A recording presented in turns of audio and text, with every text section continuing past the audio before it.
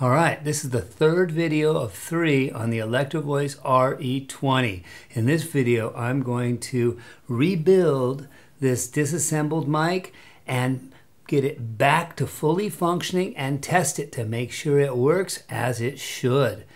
We've gone deep inside and done a very technical repair and um, let's see what happens when we put this thing back together. Okay, so that looks great. We have a phase plug that no longer moves. We can push on it and we can see that it's adhesed into place. And now we get the fun part of putting this thing back together. So the first thing we want to do is get this protective grill onto the diaphragm because um, we can't set the thing down on its face until we have done so. I'm going to tighten up these two little screws here. So the next thing we want to do is replace the foam that was in there that was rotted out. Now I just happen to have foam from another RE20 that I took out that was what they used. So this is um, what it looks like. It's kind of, you could just take a piece of fiberglass. This is a little coil. I've rolled up kind of some um, fiberglass, a little denser than that. I wouldn't say it's too critical, but you do want to put something in there. So I'm going to use this piece, but I would just get a little bit of, um, you know, you can kind of see that this is a little bit dense. Okay, so we're going to put this into the hole here. And it's a little more, um, actually it seems a little more absorptive than the foam that came out of here. Next we're going to put in these um, screws here. And remember I said these screws are magnetic and they want to go into, they're going to want to go into the hole where the diaphragm is. So you don't really want that to happen. And this has glue around it, but I'm not going to replace the glue. I lined this back up so the glue kind of lines up. We do want a good seal here, but I think that the old glue is soft enough and lined up to where it's not going to be leaking air. I'm pretty happy with that. Our next adventure, we're going to need to get the hot glue gun out. And we want to replace the almost lint-like airy fiberglass that went down this tube.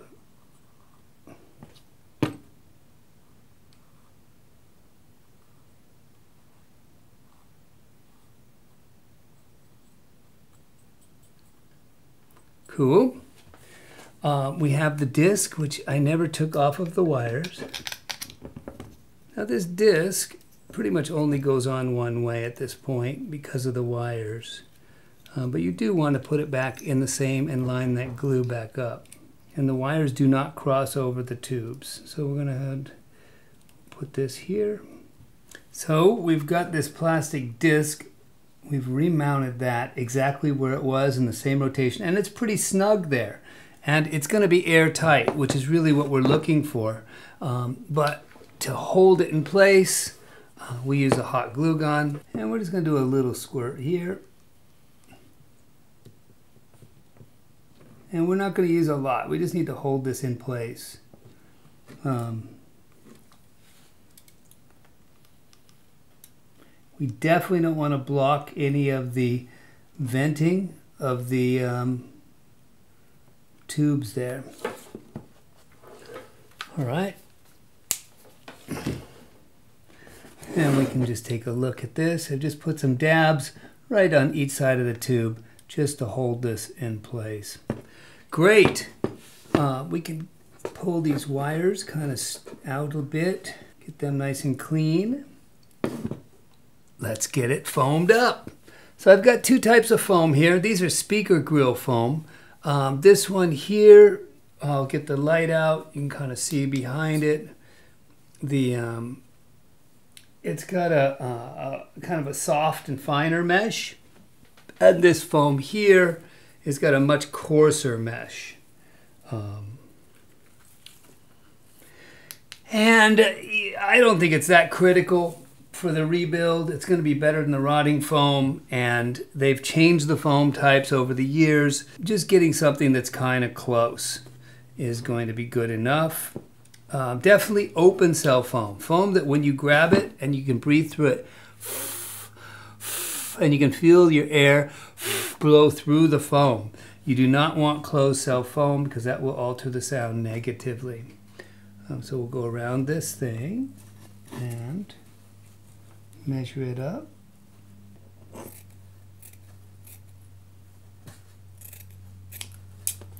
And for the length of the foam, we're going to want the foam to extend beyond the end of the capsule about a quarter of an inch.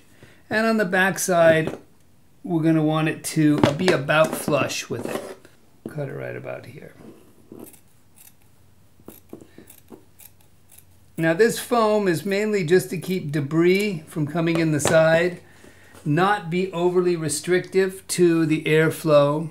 Hold, this actually holds the capsule in place inside. So when it rots, it kind of floats around.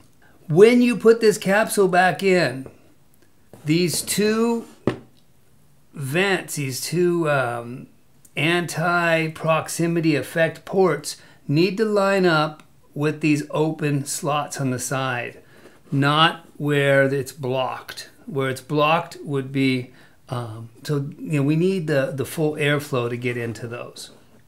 So to get the foam on, now that we've cut the foam to size, we need to be able to put the capsule wrapped in the foam into the housing.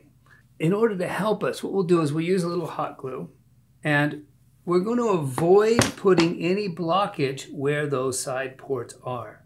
So we'll take and put a little hot glue right here.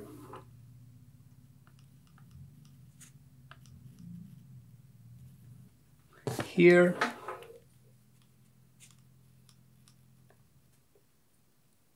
And here. And just spots around the outside.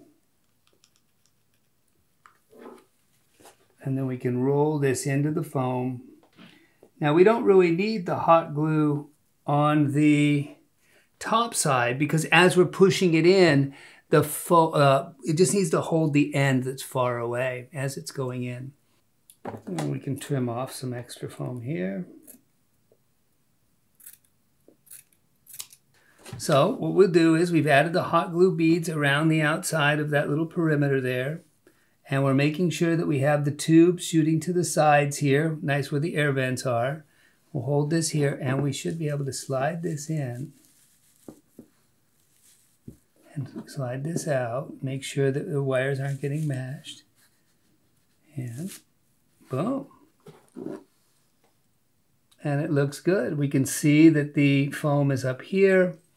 We've got a little bit of the old foam I didn't clean out we can see through. We don't have any um, silver that we can see. We've got a really good placement. And the foam is stretched out a little bit so we can trim off the stuff up top. And leave a little excess here. We don't, it's supposed to actually extend a little beyond the um, diaphragm.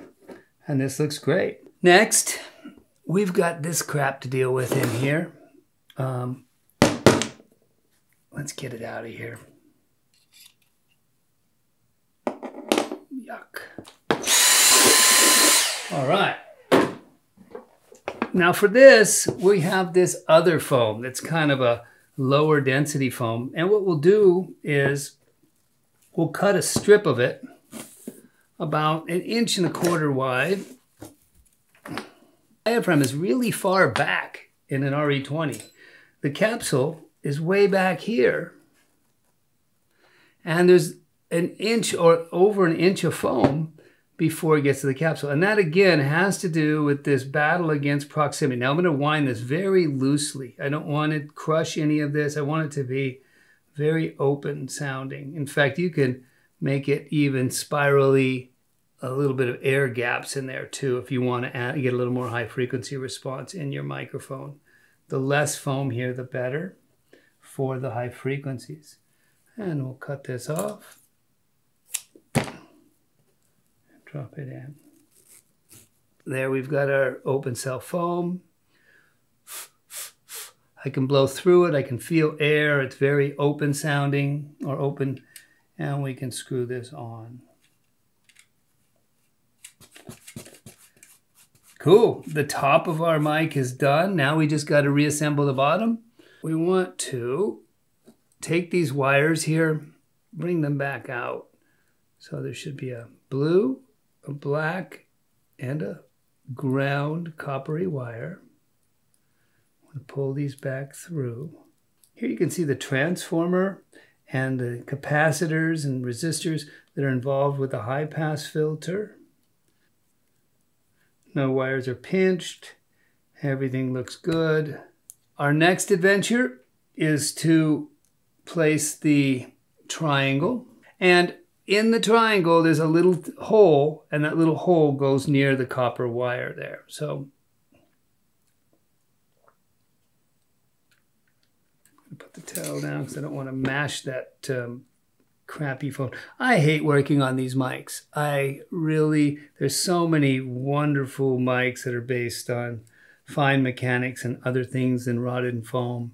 But they're beautiful sounding mics and their technology is unique. I mean, they really have this ability to circumvent the proximity effect. Uh, you see a lot of radio announcers use them. That way, when they get real close, you can add a little low end, but not a lot. Um, they you don't have to be pop filtered. It's just a, it's just a, a really good design. For the ground screw here, we got to go through the the eyelet, put this into place, And what I'm guessing is the actual ground wire is wrapped around the eyelet slightly. Um, and I'm guessing they're trying to form a little bit of an inductor here using this transformer wire. Okay, so we're to wrap it around a couple times and then we're to fold it over itself a few times. And you don't need to be too perfect on this. And then we're going to take that and we're to put a sleeve over it just for looks. Okay, so I wrapped it around, put that back where it was. Uh, the same thing with these wires here, the blue and the black. So we're going to take those and we'll fold them over, fold them over again. And once they're folded over, we'll slip on this um, bit of plastic tubing um, yeah, it just doesn't feel like a clean build, you know, just with the, um, feels more like fixing a, a, a shoe rather than a high quality mic. All right, everything's in. Um, the next adventure is let's solder those wires back and fire it up. The green will go here and the red will go here. Now, when they build these mics, they actually wrap the wire around the terminal several times and then solder it. And um, we don't need to do that. That's um, just overkill. It just makes it harder to work on. We're just going to, there's no reason to have it be that strong. The, solder joint does not need to ex exceed the strength of the wire. Doesn't really give us any advantage. And again, you don't want to heat these tabs up too much. They will melt away. This is a fairly low melting point plastic. And the red one here. Wonderful. Uh, this has got a little notch here for this metal bit. Um, that's a newer development I have not seen before. Now, one thing we are going to be concerned about is there's going to be a screw that comes down the middle and goes in that hole. So we don't want these wires crossing over that. So we'll pull these out and make sure that they're clear. Line that up with its little notch. Yep. And find our 9 64 screw and 9 64 Allen wrench.